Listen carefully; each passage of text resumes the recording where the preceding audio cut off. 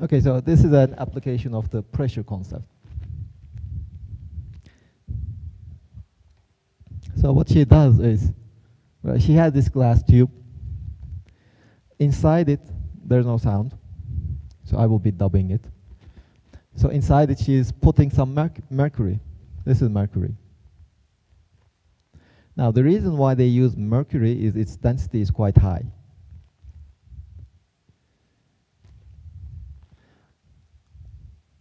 Well, this is also filled with mercury. So she filled up the whole glass with mercury. She inverted it. And you see there is some, is this air?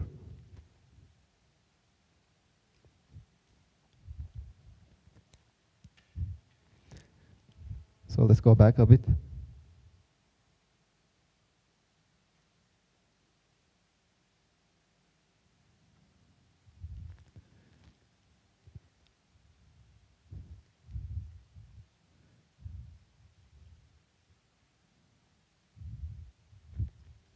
So is this air over there, do you think? Now what she did was she took a, a tube which is closed on one end. She filled the tube completely with mercury and she inverted it and put the open end inside the mercury. So do you think I, there can be air over there? Yes, no. I, I don't see your heads. So you, you, you should say yes or no. Who says yes? So where did the air come from? It is closed. It was closed. It was completely filled with mercury, and then the only one end was open, and that open end was put inside the mercury without letting any air in. Inside mercury? Inside mercury? No. It's almost vacuum. There's no air inside in there because the air was completely emptied. There was no air. On, there was only mercury.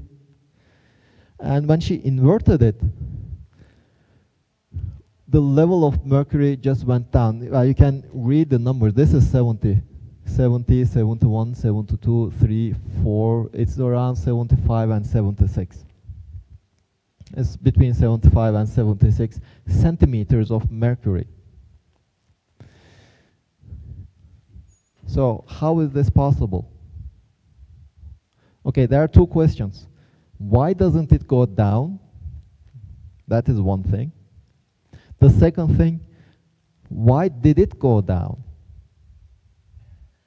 So it was first 100 centimeters of mercury filling all the tube inside of the tube. The tube was filled with mercury. So when she inverted it, the, this column of mercury went down a bit. So why did it go down? One question. And why did it stop over there? Second question.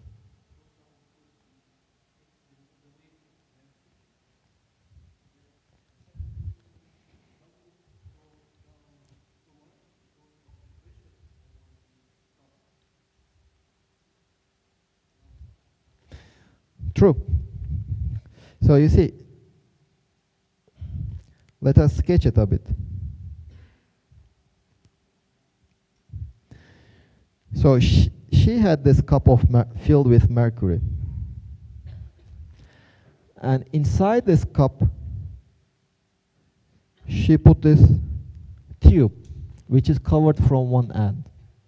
Initially, it was all filled with mercury, and then the column of mercury, well, you see, if you put an, if an object is at rest, whatever that object is, whether it's a rigid body, a point mass, or a column of liquid, if it is at rest, the net force acting on it should be zero.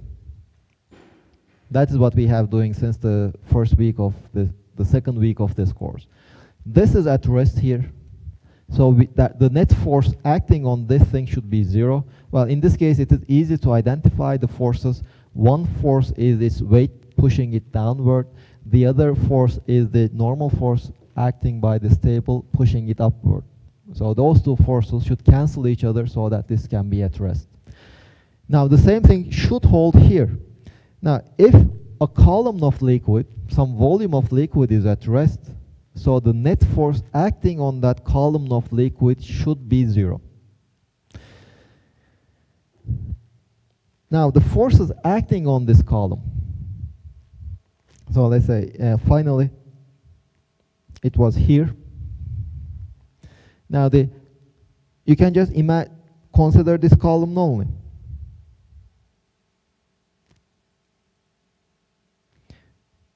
It has some height. Let's say the cross-sectional area of this tube is A. So what are the forces acting on this column? There are two of them.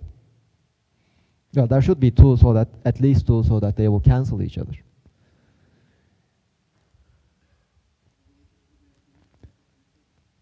The weight of the mercury, that is the point that is trying to push this column of liquid downward. And the weight of the mercury is the density of the mercury times the volume of the mercury, which is a times H times the G. This is the force pushing the mercury column downward. So this is the weight. On the other hand, there is some pressure at this point. But the pressure at that point is the same thing as the pressure at this point because we had seen just in the at the end of the last lecture that the pressure at a point is given by the pressure at some reference point plus the density of the liquid times the gravitational acceleration times the height difference between these two reference points. This point and this point, these two points have the same height. So the h is zero, the height difference is zero, so the pressure at this point and the pressure at this point, they are equal.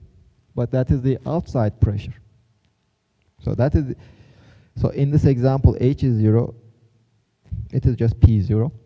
So the pressure here is nothing but the outside pressure. Now the area is horizontal. We have a pressure over here. So the force that this pressure creates on this area is pointing upwards, perpendicular to the surface. But if it is pointing upwards, it should balance this rho A H G. This should be equal to P0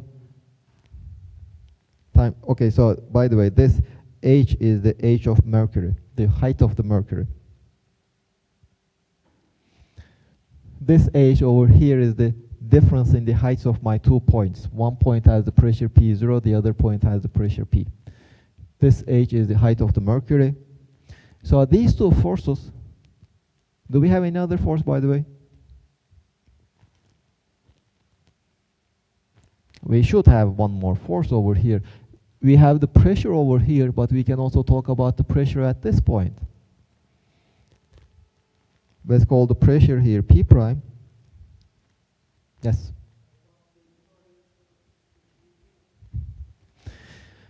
Okay, to be pers you are almost correct, but almost. Uh, to be more precise, here it is not pure vacuum. There's some mercury vapor over there. Very small amount of mercury vapor. So that will create a very small amount of pressure over there. But that amount is very small. So and we can ignore it. And in most cases that is what is done. We will be ignoring the pressure of the mercury vapor over there. In that limit, there is no pressure outside. The P prime is almost zero.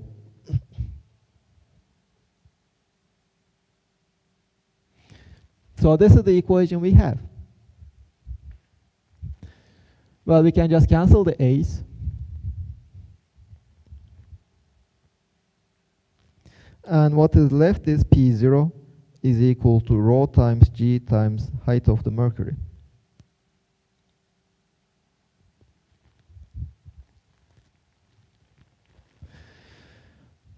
Well, you can use this equation in two ways. Whenever you have an equation, you can either think of, okay, this side is equal, the left-hand side is equal to the right-hand side, or the right-hand side is equal to the left-hand side.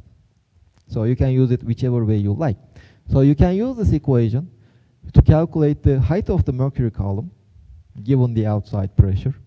Or you can use this equation to calculate, this is the outside pressure over here on the surface of the mercury. So you can use this equation to calculate the outside pressure using the height of the mercury column. So let's complete this video.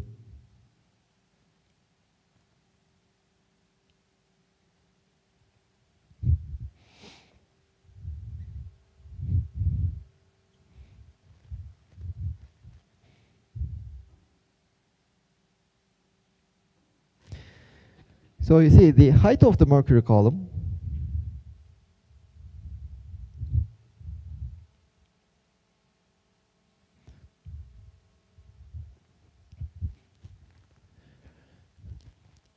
Well, this is the height of the mercury column, so it is almost 35.5, 34.5 millimeters, centimeters. Uh, 34.744 millimeters.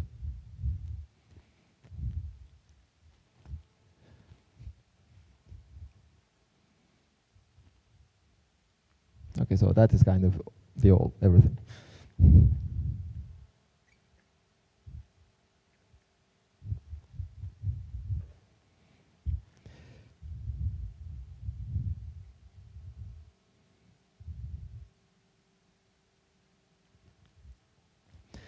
So in that example at least, H mercury is equal to 744 millimeters. So to calculate the pressure, you can just take the density of mercury, well this is the rho of mercury, the density of mercury multiplied with the gravitational acceleration 9.8 meters per second squared times the height of the mercury column and you will obtain the pressure. Now what is the unit of pressure? P0, we had just seen that it can be written as rho mercury H of mercury times rho. Now what is the unit of pressure?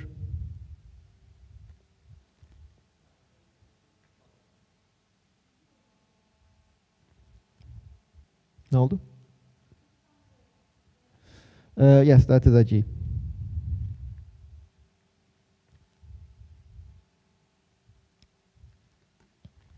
Well, the unit of mercury, well, we define the, the unit of pressure, sorry. The unit of pressure, we define the pressure as the force divided by area. So this is one unit of pressure, newtons per meter squared. Another unit of pressure, you see here, if you look at here, the pressure density of mercury is more or less constant. So wherever you go, that is, a, that is just a constant. This is just a constant on the surface of the Earth. So whenever you measure the height of the mercury column, you also measure the pressure. So that is another unit used. This is one unit. Another unit that you use is the millimeter mercury So you probably have some relative who has uh, low low blood pressure or high blood pressure problem, right? I mean, I'm sure all your grandparents, at least one of your grandparents, is forcing you to measure their blood pressure from time to time, no? Who doesn't have such a relative? Now, if you read uh, the scales over there, the unit there is always millimeter mercury. Where the unit of the blood pressure, that, that is what is commonly used. When they say that the, the, your highest blood pressure should be around 12. 12 is 12 millimeter Hg.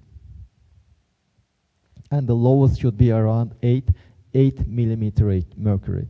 So that is the unit used on those uh, devices. And if you just imagine the atmosphere, 760 744 millimeter Hg. Well, if you do that ex experiment close to a seaside and at the height seaside at a reasonable temperature, not in a lab in I don't know where, you will get that the P0 is one atmosphere. So that is the atmospheric pressure, which is defined as, let me check, this is 1.013 times 10 to the power 5 newtons per meter squared. This is the, the atmospheric pressure. By the way, this newtons per meter squared is also defined as the Pascal. Now this is the relative scale. Now this corresponds to 760 millimeter Hg.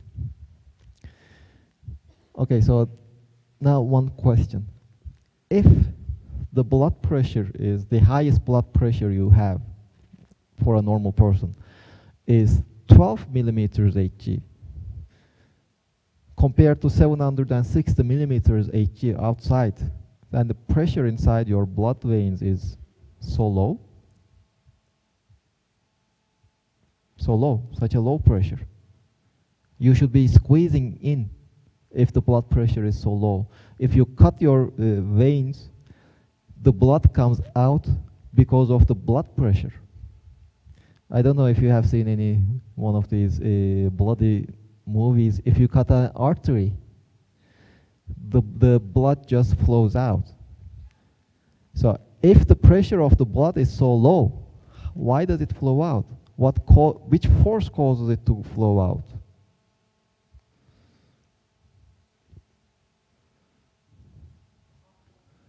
The heart, but the, the pressure that you measure, the 14 millimeter Hg from these, uh, these devices, tells you that the pressure created by you, the, blood, the heart is just 14 millimeters Hg. And your friend told me that it is very low compared to the atmospheric pressure. So the pressure in my blood is much lower than the atmospheric pressure. Now the atmospheric pressure is trying to push air inside my veins. The heart is trying to push the blood out of my veins to the other parts of the body. So if the pressure of the heart is so low, just 14 millimeters Hg, then there's no way that the blood is getting out. Well, the reason is the 14 millimeters Hg, the pressure in your blood is not really 14 millimeters Hg. It is 14 millimeters Hg or 12 millimeters Hg if your, your pre uh, blood pressure is normal. 12 millimeters Hg plus this number. So the blood pressure is higher than the atmospheric pressure. And the difference is what you measure by those instruments. So that is why that 12 millimeter Hg difference, the difference created by your heart, is causing all these blood to flow out. I mean, if you cut one of the arteries, it's just in a, in a matter of minutes that you will lose all your blood. So that is called the, you see, we said that P at a given point is P0 plus rho GH for a liquid. This is for a liquid. And this is called the gauge pressure.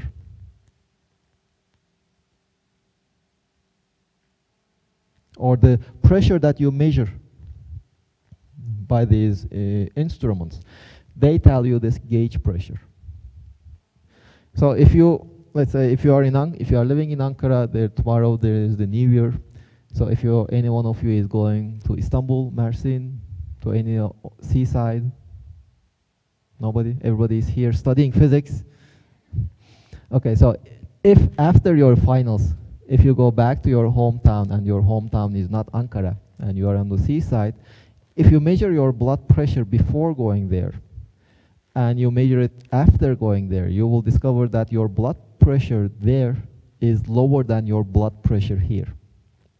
Yeah, that's the problem I have whenever I go to Mersin. My blood pressure gets so low that I, I, can, I just cannot wake up.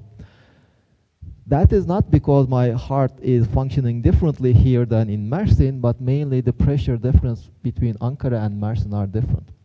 Ankara is at a height of around 500, kilo 500 meters from the sea level. So the height between here and Mersin is around 500 meters. Well, the atmosphere, although it's a gas, we can just, and the, all the derivation here, we can apply also to the atmosphere. So the height difference between here and Mersin is 500 meters. Well, the atmosphere has a lower, much lower density than Mercury, but nevertheless it has some finite density. So we have the density of the air, the density of the uh, gravitational acceleration, and the h. h is 500 meters. So the pressure in Mersin is much higher than the pressure in Ankara. So if the pressure in Ankara, if the outside pressure uh, is much higher over there, my blood pressure will be more or less the same. So the pressure difference between my blood and the outside pressure will be lower in Mersin. So when I measure my blood pressure in Mersin, I get a lower value. And it takes me a few days to adjust to the new air pressure. That is, my blood, my heart needs to adjust to the new air pressure. It has to be pumping stronger. It has to create a larger blood pressure so that it will be able to flow through my veins. So that, that's the, the reason why the heart creates this pressure is that without that pressure, the blood will not be able to flow through the veins.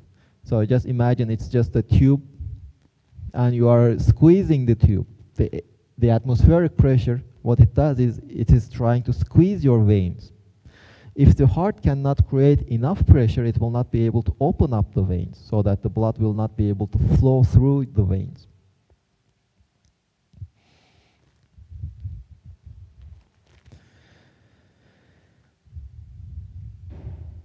Well, there's another unit that you see quite often whenever you are discussing the pressure. It is the bar.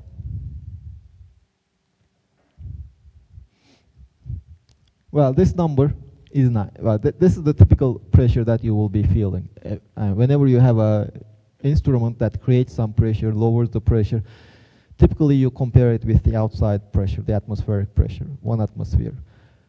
But this number, we like round numbers we don't like these 0.1.013 times 10 to the power 15. So what to do about that? Just throw it away.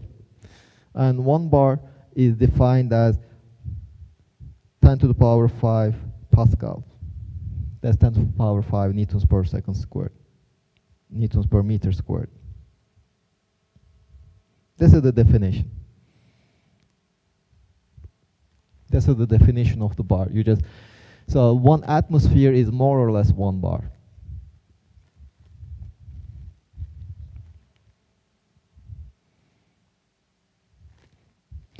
Now let us see some applications of, okay, let, let us do some exercise, a few exercises.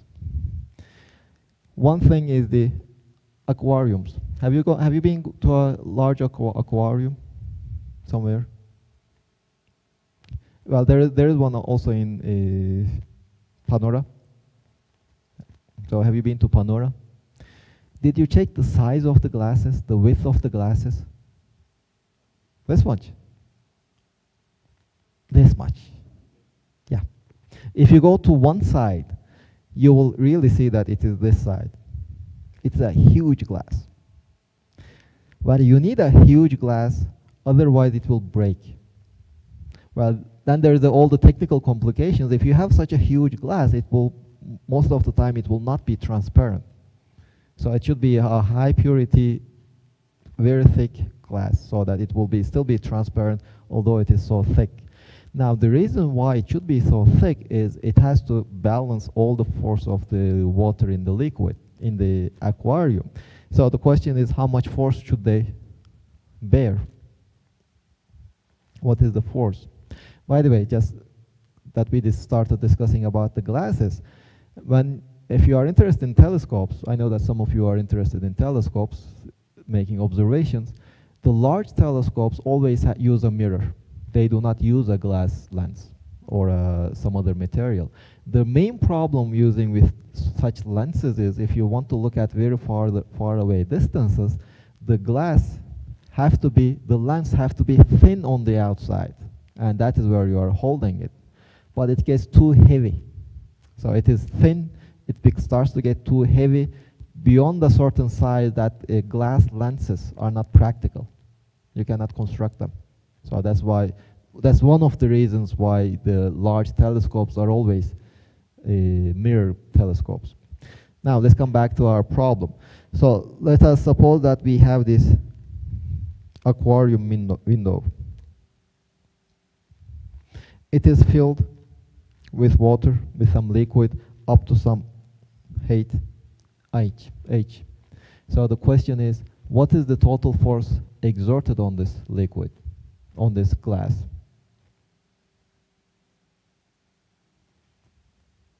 By the liquid only. The net force is zero, by the way. She's right. The net force is zero because what you want is you want the glass to stay there. You don't want the glass to accelerate some, somewhere else. So the edges and the outside atmosphere, you should make sure that some other structure in your construction provides this force. So it will be, the you have to be holding the edges. So the edges should be exerting some force on the glass to hold it there.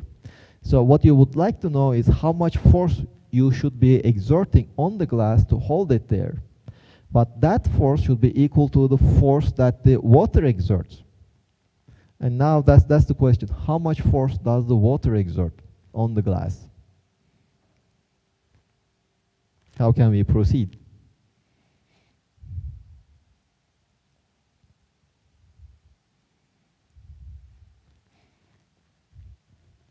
Okay, any suggestions? Well, we, we already know the pressure, the, let's say the outside pressure is P0. So P, P pressure at a given height is P0 plus rho g h. This is the pressure. The pressure we know. And now?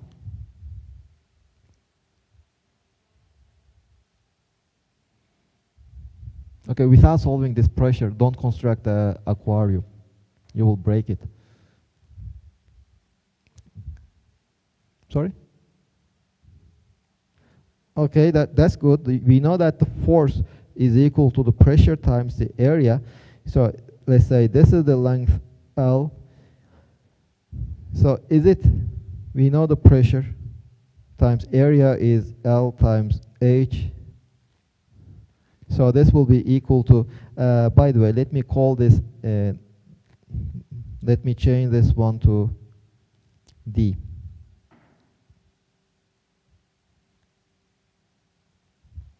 This will be equal to P0 plus rho GH times L times D.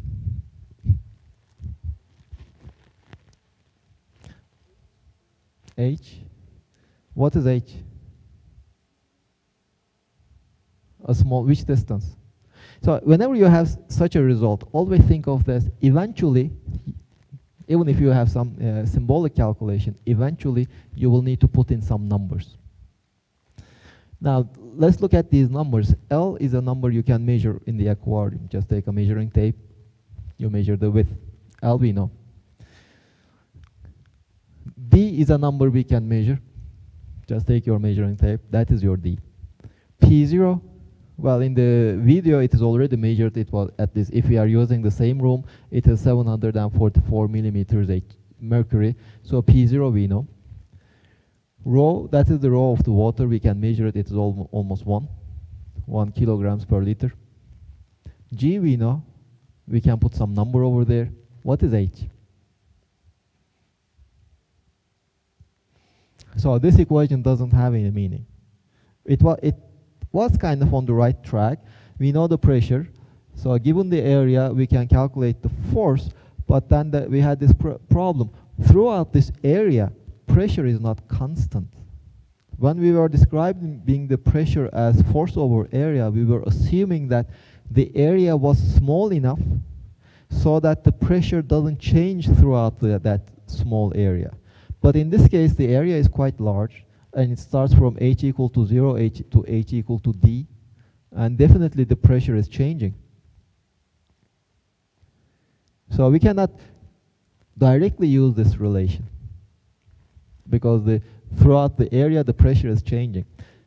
Any suggestions?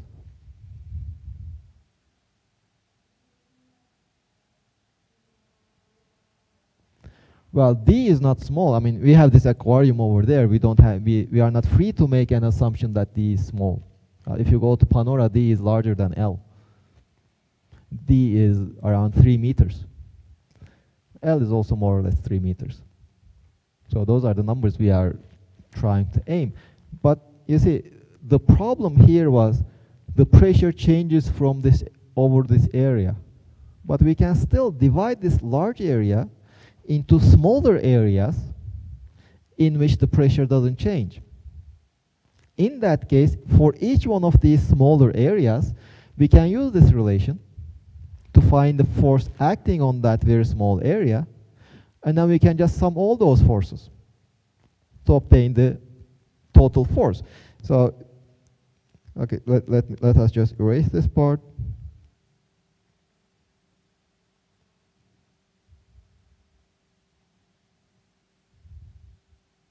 So what we do is we are just dividing this large area into very small segments.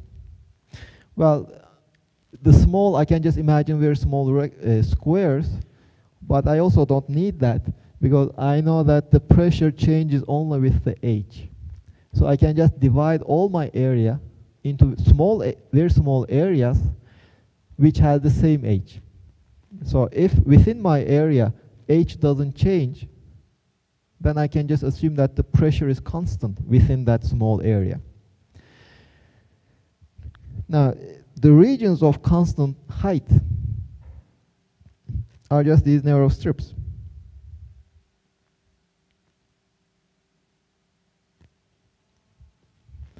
Let us just imagine that this is my z-axis. Now, each one of these strips has an area, dA, very small area. So that's why I use the dA. dA is L times dz. That is the very small area. The force acting on that very small area will be just P0 plus rho GH times L dz. I know that within that very small area, h is almost constant. And in fact, h is equal to, well, remember, h is the distance from the surface of the liquid. It is not that this z. So if I take, if I imagine taking in, into account this area over here, the height will be nothing but d minus that. That is the height from the top. Well, the total force, well, I know that all of these areas will be feeling a force out of the blackboard, uh, out of the screen. They are all in the same direction. So since they are all in the same direction, the net force will also be out of the screen. So, and the magnitude of that force will be just the sum of all these small forces. This will be equal to, well, the sum of very infinitely many very small numbers is just my integral, p0 plus rho gh, well, h, no, h is d minus z, l dz. Now the z starts from 0 and goes up to d. This is the total force that the glass should support, the glass of my aquarium.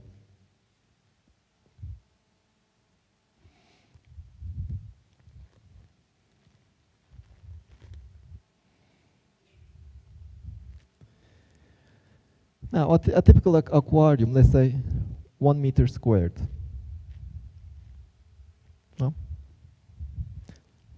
let, let us just put in some numbers over here.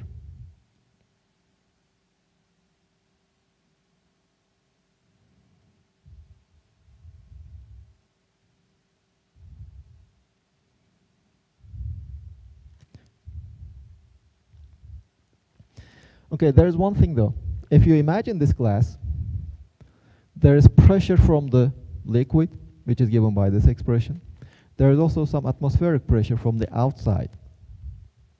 So there's already these two forces acting on the liquid. You don't need to do anything to take into account. The, uh, this outside pressure is already there. There is the pressure of the liquid given by this. There is the pressure from the outside. Well, the pressure from the outside is just a constant. The pressure is constant through, well, you can just say that the pressure on the this area is just constant, the atmospheric pressure. It is always P0. But this is just, just this P0 L times dz is the outside pressure, outside force. So if you just look at it from the side, this is the side. So this this is my D. So there is this force that we denoted Ft. There is the external force already, F atmosphere. And if atmosphere is nothing but P0 LD. Now the difference in these two forces, Ft minus F atmosphere, which is from 0 to D rho G d minus z L dz. This is the additional force you need which should be provided by the structure of your system. When you are uh, building this uh, aquarium, you have to make sure that well, this glass will be holding holded by the frame of your aquarium. You can just imagine this can be, I don't know, a hole in the wall. You put the glass over here. The water is it pushing it outside. The air is pushing it inside. These are uh, uh, these two forces will not be equal due to the liquid inside. So you have to hold this glass. You have to create some additional force acting on this glass, which would be equal to this number. Now let us calculate that number. Well, if you calculate that number, you will find that that is nothing but rho g d squared L over 2. No, not dz, no. This is what you would get. In your calculus courses, you have already seen how to calculate integrals, so I can just write down the results now. Let's put some numbers.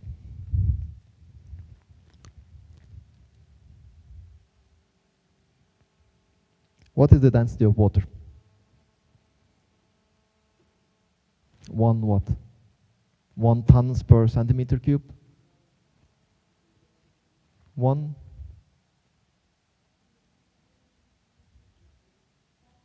One kilograms per meter cubed?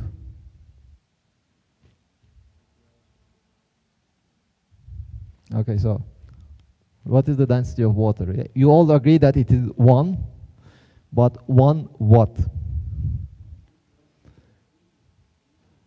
One kilogram per meter cube. Okay, have you ever car carried one liter? Hmm? Yes. Okay. You see, you buy uh, one liter bottles, right? Come on, you, you are buying waters. You have that bottle of water over there how, what is this volume?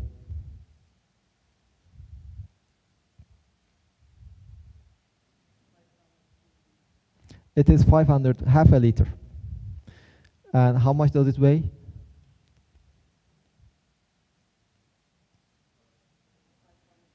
Grams, half a kilo. Half a kilo, half a liter. So it is one kilo per liter. How big is one liter?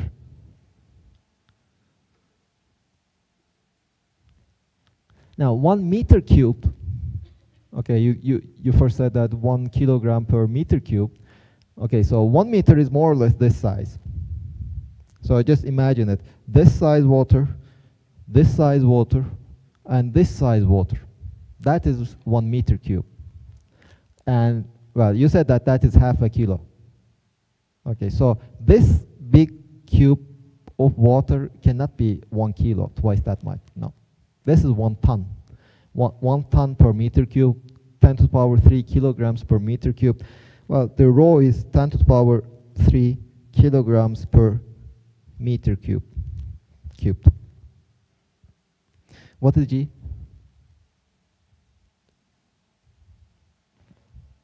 Let's just take it 10. Unit? Meters per second squared. So times 10 meters per second squared. Okay, what is the typical size of an aquarium? What size of an aquarium would you like to calculate this for? Let's do the, the one in the Panora. What do you think is the sizes?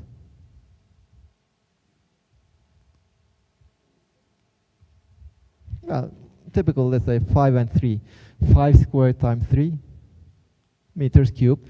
5 squared 25 times 3 is 75 meters squared. Now, okay, yeah, meter cubed. This d squared L will be 5 squared 25 times 3, 75. Let's just round it 100 meter cube. Divided by 2. This is, this is equal to, well, 10 to the power 3, 10 to the power 4, 5, 6, uh, this will cancel. 10 to the power 6 divided by 2 or 5 times 10 to the power 5 newtons. Uh, we have kilogram meters per second squared. This is the for the Panora aquarium.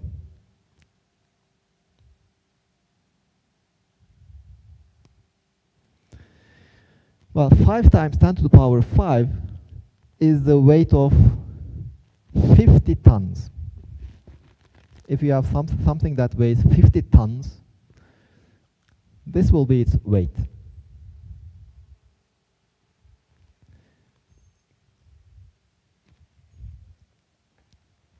So the glass over there has to be able to carry 50 tons. Uh, 50 tons is huge. Well, a, a, a typical home aquarium will probably be like one meter, 50 centimeters.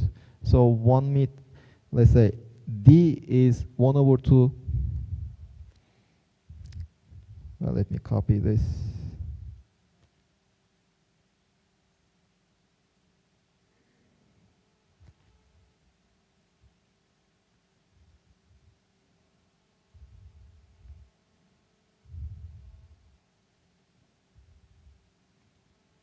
So this is for a home aquarium.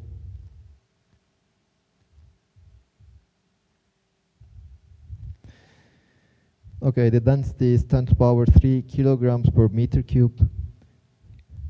G is 10 meters per second squared. D for a home aquarium is 1 over 4 plus 2 times 1 over 4 divided by 2 is 1 over 8. Let's just approximate it by 1 over 10. Uh, meter squared. L is 1, so 1 meter. This is 10 to the power uh, 3 newtons. That is how much the glass in a home aquarium should support. This is the weight that it should support. Well, 10 to the power 3 newtons is the weight of 100 kilos. So on the average, if two of you just step on that glass, the glass shouldn't break. That is how much weight it should be able to support. Okay, any questions before we give a break?